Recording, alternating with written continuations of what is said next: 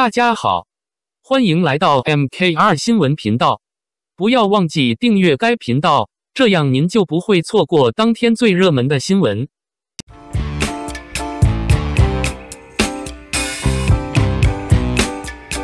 长月烬如霜，视觉盛宴。罗云熙、白鹿演绎三代纠缠虐恋。长月烬明改编自藤洛威之小说《黑月光之 B 剧本，讲述了一代魔神蛋台锦与衡阳教掌门之女李素素的纠葛虐恋。有一说一，整部剧的特效很有冲击力，达到了东方美学的水准。刚开始的灭仙门感觉有点悲壮。穿越后，时不时的欢乐情节也挺有意思的。罗云熙的演技一如既往的在线，将蛋台锦饰演的病态阴郁、冷酷无知、不懂情欲。我哭的时候觉得很可惜。有观众抱怨台词太女性化，认为可以接受。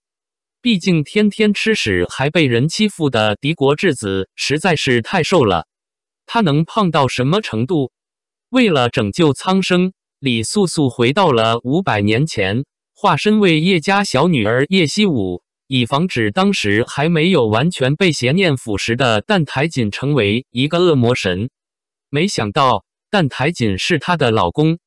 穿越后得知我嚣张跋扈的恶行，推妹妹下水，指挥演英雄救美，罚老公跪冰下了三天三夜的雪，不停的骂自己没有道德。至于感情线。宠爱的六殿下何剑夫既恨我又喜欢我姐。嗯，我知道他为什么一身绿色出现了。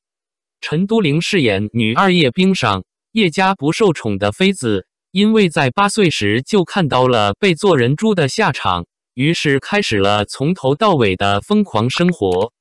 不知道剧中会不会有粉饰，但是观音脸蛇心的美人真的超级感人。长月烬烬告别了仙侠剧的丧葬式，屏幕将敦煌仙境的美景尽收眼底，为观众呈现了一场超豪华的视觉盛宴。六集首播，节奏紧凑，道听途说，期待后面的剧情走向。感谢您观看视频，如果您觉得这些时事通讯有帮助，请不要忘记点赞、评论和订阅。